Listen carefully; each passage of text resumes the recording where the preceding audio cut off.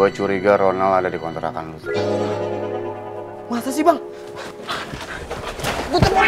Assalamualaikum warahmatullahi wabarakatuh. Hai penonton YouTube RCTI Layar Drama Indonesia. Saya Ovi mau mengucapkan terima kasih banyak untuk semua yang sudah setia menonton Amanah Wali 5 sampai sekarang. Ikuti video terbaru Amanah Wali di YouTube RCTI Layar Drama Indonesia. Jangan lupa juga ya subscribe, like, komen, dan share ke teman-teman kalian. Dan jangan sampai ketinggalan untuk nonton Amanah Wali 5 setiap hari pukul 21.15 waktu Indonesia Barat hanya di RCTI Oke.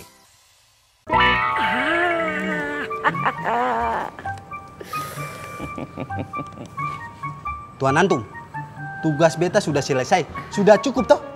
Good job. Antum betul-betul hoir. Baik sekali. Emang betul beta baik. Sebaliknya, Ale itu yang tidak baik. Beta nih curiga sama kamu orang tiga nih. Masa curiga sama Ana dan anak buah Ana? Ana ini 15 tahun di pesantren Anur.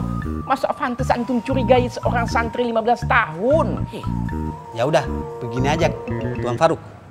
Ini nomor telepon. Antum saja yang pegang. Ana sudah punya teleponnya Pak Yusuf. Kontaknya sudah ada di kepala Ana. Antum telepon Pak Yusuf, bilang, Pak Yusuf, kiosnya biar ada di tangan Ana saja ya. Ana yang kelola. Gitu. Ayo mana? Oh, jadi nomor ini beta simpan aja. Iya. Tapi ngomong-ngomong nih, beta nih semakin curiga aja nih sama Ali bertiga nih. Apa alasan antum mencurigai Ana sama anak buah Ana? Justru Ana dan antum ini sedang membantu Ukti Habibah. Oi abang kampleng, abang kampleng jangan perhitungan masalah bantu orang. Karena nanti Allah yang akan membalas dengan pahala-pahala yang lebih besar lagi. Exactly Babang Kampleng, apa kata Irman? Nanti kita doain biar Babang Kampleng itu berkah dan sukses selalu. Amin, amin ya rabbal alamin. Ya udah, nomor ini beta simpan. Nanti tugas selanjutnya beta akan telepon Pak Yusuf. Itu yang Ali bertiga mau toh? Cakep, that's right. Exactly. Good job, boy. Sabar, sabar, sabar. Good job, boy itu artinya? Nanti aja mikirnya bab 2. Ayo mana? Assalamualaikum. Assalamualaikum. Waalaikumsalam. Wah, mereka punya rencana curang nih.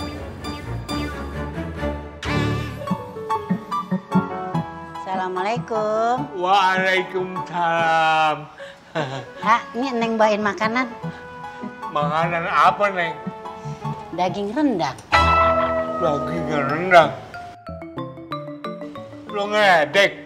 Ngeledek apaan? Dikasih makanan bukan bersyukur, bukannya terima kasih, malah dibilang ledek. Lo tahu kan? Gue mana sanggup makan daging rendang. Gigi gue udah sepi begini. Nggak kayak dulu lagi, Neng. Oh iya ya, Neng lupa ah. Pura-pura lupa.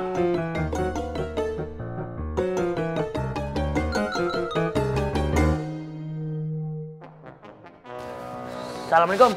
Waalaikumsalam. Mau ke mana lo? Mau nyari bubur. Minggir lo. Eh, Ya bunga, komingan kenapa lagi? Biasa cek, Nek Bunga salah ngasih rendang daging. Hamingan kan giginya udah nggak ada ya. Pantes kasih rendang daging. Kalau dimakan habisnya tahun depan itu mah. Neng bunga kebangetan. Masa gue kasih rendang daging? Bagaimana ngunyahnya gua? Kong, ke pasar Kong. Jalanin tugas Kong sebagai serip. Lu aja anak Mamat, wakilin gua. Bisa diwakilin mulu. Gak enak dong Kong sama Bang Apoy. Engkong kan udah dikasih amanah jadi serip sama Bang Apoy. Kong harusnya tanggung jawab. Jangan hianat Kong. Bawa lo, gua lagi ngambek, lagi sebel. Terus Engkong mau ke mana ini? Gua mau makan bubur. Banyak nanya lo, gibeng lo. Kong.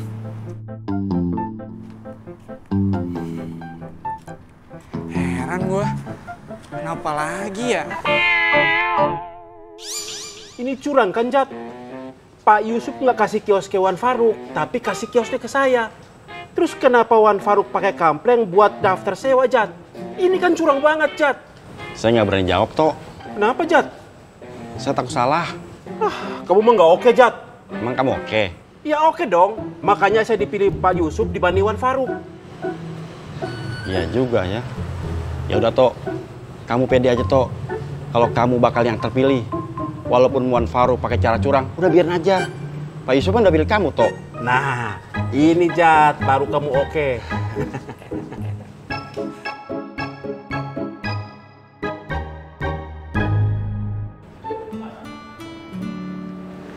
Assalamualaikum Fatin. Waalaikumsalam. Eh, tadi Umi nelpon saya, katanya saya diminta ngobrol sama kamu masalah bazar murah di pesantren. Iya, bener Bang Fahad. Kebetulan Umi juga sudah memberi pesan sama Fatin. Eh, kalau gitu,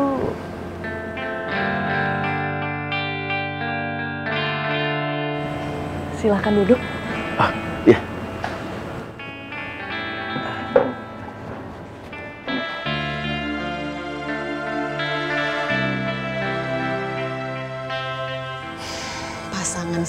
Serasi.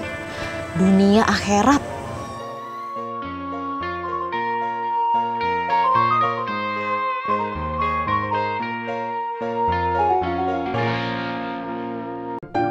Ya Allah, Ronald, lu lagi apa sih, Nal?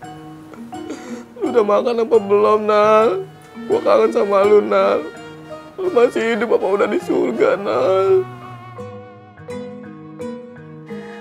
Assalamualaikum warahmatullahi wabarakatuh. Waalaikumsalam warahmatullahi wabarakatuh. Guntur muridku, lo pasti sedang memikirkan sesuatu. Iya, Bang. Lo pasti sedang memikirkan seseorang. Ronald. Kok Bang Ustadz tahu? Tuh, lo aja masih manggil Bang Ustadz. Tahu dong. Ustadz ilmunya tinggi, punya karomah, bahkan punya sertifikat, sertifikat halal. Ah, sertifikat halal. Emang Ustadz membentuk makanan. Muridku, Ronald gak usah dipikirin. Ronald didoain. Ah, sekarang kita ke musola yuk. Kita ngaji, sekalian doain Ronald. Ayo.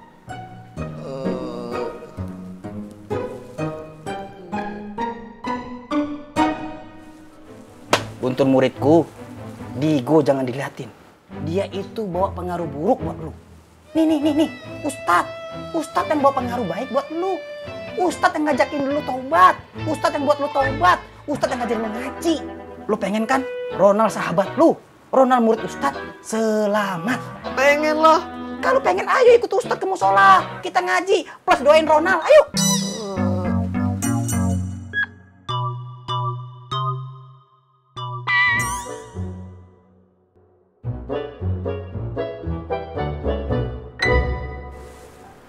Untung lagi ngapain Guntur?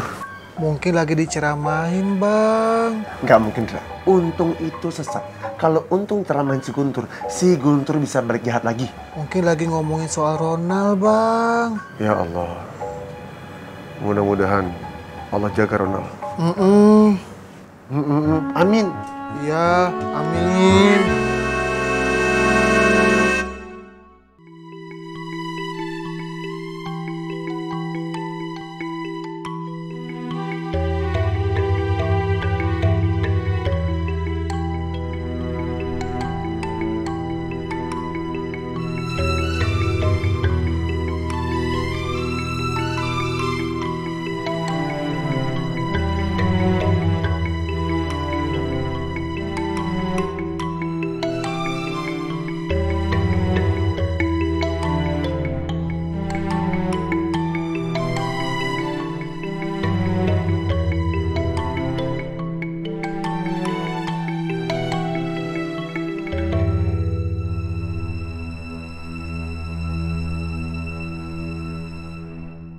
Mantan muridku. Lo mau ya? Jadi murid Ustadz lagi. Setiap hari Ustadz lihat lo selalu galau, sedih, merana. Enggak, Guntur nggak mau jadi muridnya Bang Untung. Lagian, Guntur kalau sedih merana gini juga karena Guntur kepikiran Ronald. Emangnya Bang Untung nggak pernah kepikiran, nggak pernah sedih, nggak pernah galau. Padahal Ronald sama Guntur kan mantan muridnya Bang Untung. Tapi Bang Untung nggak pernah Guntur lihat galau sedih merana. Cuma Guntur aja yang galau sedih merana. Bang Untung nggak inget dulu waktu Guntur sama Ronald masih jadi muridnya Bang Untung. Kita bersama-sama ke mana-mana Bang. Astagfirullahaladzim ya Allah ya Robbi. Guntur muridku, Guntur mantan muridku. Lu jangan seujon, jangan nuduh Ustadz begitu. Ustadz itu selalu galau, merana, sedih. Tapi lu nggak tahu Guntur. Karena gue simpan dalam hati Guntur. Kalau lu pengen tahu isi dalam hati Ustadz, Ustadz selalu merana Guntur, merintih, sedih, menjerit, memikirkan nasib Ronald Guntur. Tapi itu semua Ustadz simpan dalam hati. Lu nggak tahu Guntur, sedihnya Ustadz, merananya Ustadz. Lu nggak tahu. Cuman Ustadz yang tahu Guntur.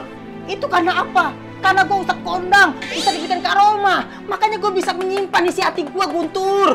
Astagfirullahaladzim ya Allah ya Robbi.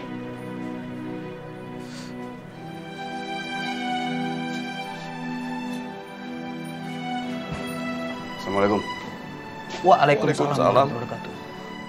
Lu masih ngontrak bareng sama Ronald, Tur? Masih Bang Rohmat. Tapi Guntur nggak pernah mau tinggal lama di kontrakan. Soalnya Guntur selalu keingetan sama Ronald, Bang. Jadi hati Guntur nggak tenang. Mat, emangnya ada apa Mat? Gue curiga Ronald ada di kontrakan lu. Masa sih bang? Guntur muridku, Guntur muridku, sabar, sabar. Ingat, jangan terlalu ke bawah hawa nafsu. Hawa nafsu itu milik setan. Guntur, kalau ini benar terjadi, ya Allah ya Robi, Alhamdulillah. Doa Ustadz langsung dikabulin. Itu kenapa? Karena Ustadz, Ustadz kondang, Ustadz diberikan karomah.